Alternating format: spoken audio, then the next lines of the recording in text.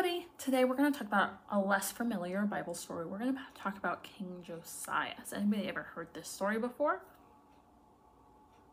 It's not one we talk about very often, so let's go ahead and listen to the story. King Manasseh had been a very bad king. He and the people of Judah worshipped idols and forgot the laws of God that God gave to Moses. People stopped going to the temple and it was shut down. But later, Josiah, his grandson, who was only eight years old, became the king. He was a good king. Eighteen years passed, and he decided to repair the temple in Jerusalem. He sent a servant to the high priest to collect the donation of money people gave the priests at the temple door. The king needed the money to pay the workmen to fix the temple. While the servant was counting the money for the king, he explored the temple and found an old scroll. On it was written all the laws which God gave Moses on Mount Sinai. He thought they had been lost. The high priest gave the old scroll to King Josiah's servant, and he read the laws of Moses and the Ten Commandments to Josiah. The king was very upset when he heard God's laws and prayed for forgiveness. His people had forgotten the one true God. They prayed to idols and behaved badly. He was very sorry for the ways everyone had disobeyed God. The priest and others went to show the scroll to a woman who loved God. She was the prophetess of Huldah. She told them that unless they obeyed what was written in the law of Moses, they would face God's punishment for their disobedience. And she said, But tell King Josiah that because he was humble and sorry for not obeying how God wanted him to live, he will be spared the punishment God is going to send.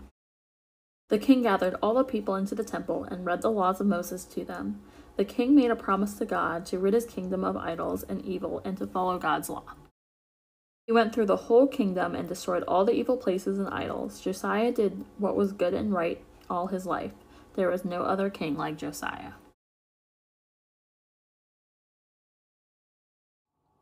So, in the story, we find out that God's people had gone away from God. They weren't following God's laws or rules anymore. And things weren't great, were they?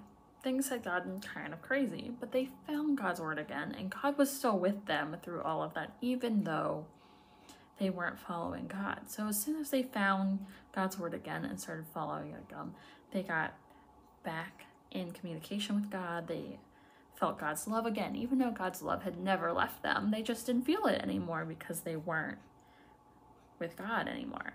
So that's something we can remember for our lives. When we're following God, we really feel God's love when we're not, we don't feel it as much. Even though God still loves us, we just don't have that connection. So that's why it's important to follow God and follow God's words. So we're going to make a craft today. We're going to make a scroll. Let's go and make that.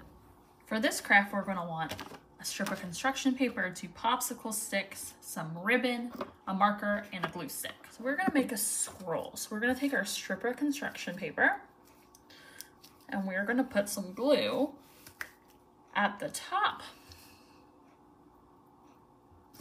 and at the bottom of my paper.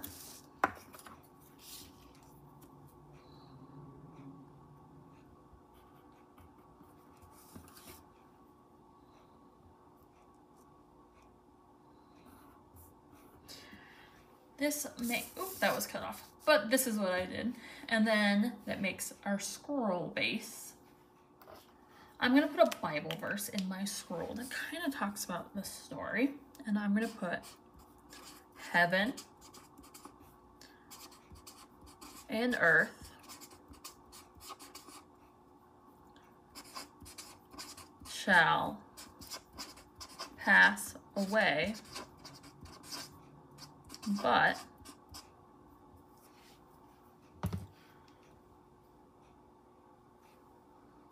my words.